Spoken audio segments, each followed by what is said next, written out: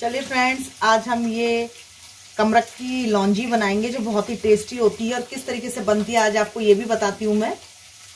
चलिए फ्रेंड्स कमरक की लौंजी बनाते हैं। सरसों का तेल मैंने इसमें ऐड कर दिया है। और ये बहुत ही टेस्टी और हेल्दी होती है, ये भी हमारे लिए सर्दियों में बहुत ज़्यादा आती है। इस तरीके से इसको पीसों में काट लेना है आपको। सबसे पहले हींग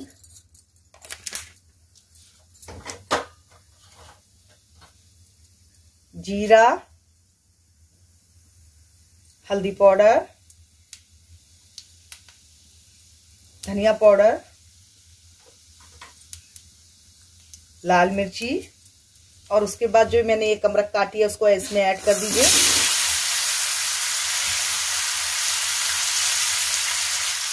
क्योंकि हम इसे खट मिट्टी बनाएँगे तो थोड़ा सा मीठा। बहुत टेस्टी लगती है ये ऐसे बनके। थोड़ा नमक। अब इसको थोड़ी देर ढक देंगे हम, जो ये मसाले थोड़े इसमें मिक्स हो जाएँ।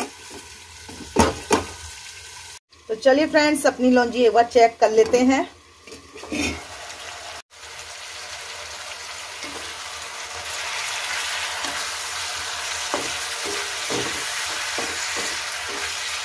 बिल्कुल सॉफ्ट हो जाएगी ये बनते बनते और खाने में भी टेस्टी लगती है और खट्टी है तो उसके लिए आपको पता ही है कि आजकल खट्टी चीज़ें खानी ज़रूरी है तो ये उस तरीके से भी हमारे लिए फ़ायदेमंद है। अभी सॉफ्ट नहीं हुई है थोड़ी सॉफ्ट होने तक इसको पकाना है हमको। और अगर आप नहीं चाहते इसे खट्टी मीठी बनानी तो जिस तरीके से मैंने मसाले ऐड करे थे शुरू में तो आप खाली उसे नमकीन भी बना सकते हैं, बिना मीठा ऐड करे। हमारी लौंजी कितनी बन गई है तो फ्रेंड्स एक बार चेक कर लेते हैं इसको।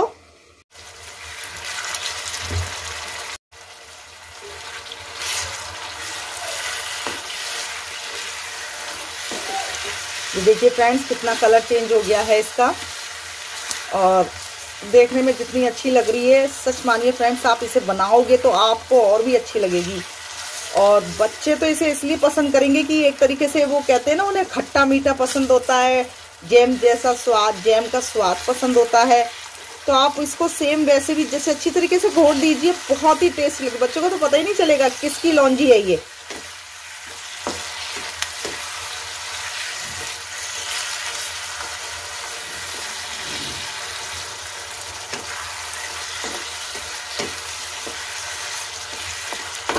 इस तरीके से आपको ये पकानी है।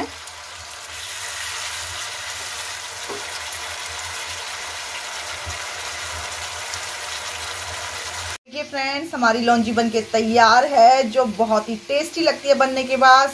और एक बार ज़रूर ट्राई कीजिए आप इसको।